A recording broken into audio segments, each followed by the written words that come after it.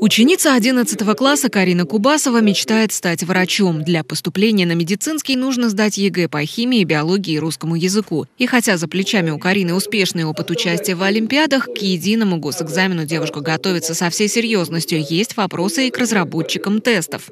Наверное, больше всего вопросы по второй части. Например, задачи по цитологии, то есть есть там многие сомнения, э, в разные составители КИМов э, меняют одну и ту же задачу, по-разному пишут. В этом году будущие абитуриенты дистанционно встретились с разработчиками заданий в рамках проекта ЕГЭ «Это просто». Школьникам рассказали, что нужно знать и уметь для успешной сдачи экзаменов по каждому предмету, как лучше организовать подготовку в оставшееся время, как сформировать свою стратегию выполнения заданий и эффективно распределить время на экзамене. Онлайн-консультации проходят и учителя-предметники. Участники встречи совместно разбирают задания контрольно-измерительных материалов. Мне понравилось и мне, мне кажется полезным было то, что этот алгоритм подготовки детей к, к экзамену, то, что они прорешивают сначала задания, потом э, видят свои ошибки, возвращаются к тем блокам, в которых у них есть затруднения, и снова начинают прорешивать. Вот это вот интервальная подготовка к ЕГЭ. Главная проблема школьников на экзамене, как отмечают организаторы, это невнимательность. Часто главной причиной становится волнение. Поэтому большое внимание на встречу уделили и психологической подготовке. Минпросвещение уже утвердило даты проведения ЕГЭ. Экзамены начнутся в конце мая. Светлана Кудрявцева, Никита Колосов, Константин Головин. События.